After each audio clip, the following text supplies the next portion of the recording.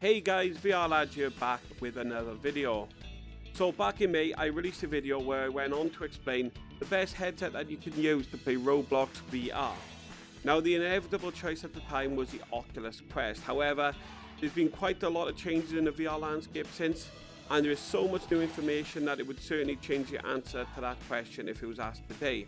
Now I'm going to take all this updated information and I'm going to discuss the best VR headset you can use play Roblox VR. So just an FYI guys, all the information in this video is accurate at the time of the recording and some may change in the future.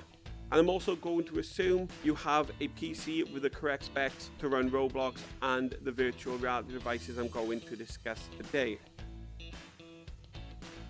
So guys, when I previously did a little research into what the best headset to use for Roblox VR was, it saw me narrow it down to two kinds of headsets. Oculus HMDs and HTC HMDs. However, for anybody that knows Roblox, it entirely depends on what game you decide to play, as the control scheme is determined by the developer of the game. So in theory, as we talked about before, pretty much every headset could be compatible with Roblox VR. But in order to remain consistent for the purpose of this video, I will once again stick to the recommended headset. So once again, the biggest factor is going to be the overall price. Like I mentioned in the other video, Roblox isn't necessarily about uh, the visuals. Like I said, it can differ from game to game. So the price is going to be a good starting point if you just want to play that game. We will take into account other things as well. But considering some of the changes that's going on, there are some pretty big things to consider when considering what the best headset play Roblox VR is. So first of all, when we talk about Oculus, we talk about the Oculus Rift, we talk about the Oculus Quest. So Oculus have said at Oculus Connect that they plan on discontinuing the Rift line of headsets starting from 2021. And they will be focusing their attention on wireless HMDs going forward. Now, it would also be clear that if you were buying a new Rift today, that might not be the best course of action when you consider the price is still going to be around £399 for a new headset and the support will be diminished from next year on as well.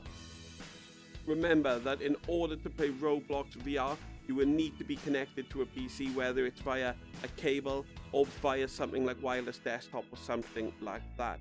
Um, it's due to this lack of support that I wouldn't recommend buying the Rift S for Roblox VR. You want your headsets to have as much support going forward as they can. So on to HTC. So there are quite a few HTC HMDs which are still supported by HTC, all of which allows you to be tethered to a PC and use Roblox VR. The issue I have personally is that the price of the models can be anywhere between 600 and 1000 pounds. That is way too expensive if you were just looking to play Roblox in virtual reality. Especially when you take into account the cost of a PC. Pretty much that's the reason why I can't recommend any HTC product for this purpose either. Now, in the previous video, I inevitably concluded that the best headset to use in order to play Roblox VR was the Oculus Quest with the link cable. Now, I chose it because of its reasonable price of £400 and the fact you could use it as a standalone VR headset and connect it to a PC when you wanted. It was also the case at the time that it was getting regular support by Oculus and there was no sign that this support was going to end anytime soon. But now it's time for the new kid on the block in the form of the Oculus Quest 2.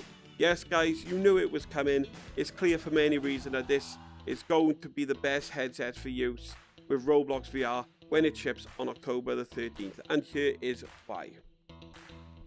So first of all, is £100 cheaper than its predecessor, coming in at a more than reasonable £299 for the 64 gigabyte version. You could also spend £399 on the 256 gigabyte version. Now, which one you choose will ultimately come down to how many games you want to install on it and if you're going to use it more as a standalone headset or connect it to a PC via a link cable. Not only is it cheaper, but it also boasts more processing power than the original, so there is a lot more bang for your buck.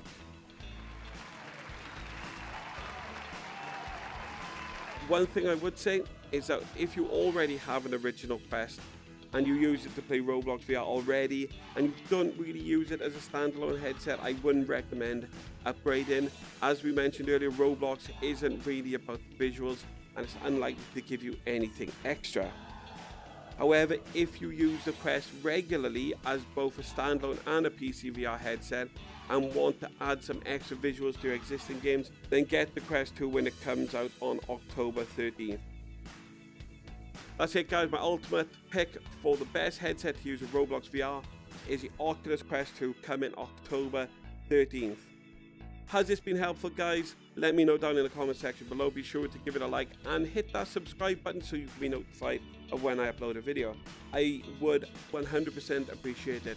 I'm VR Lad and I'll see you soon. Peace.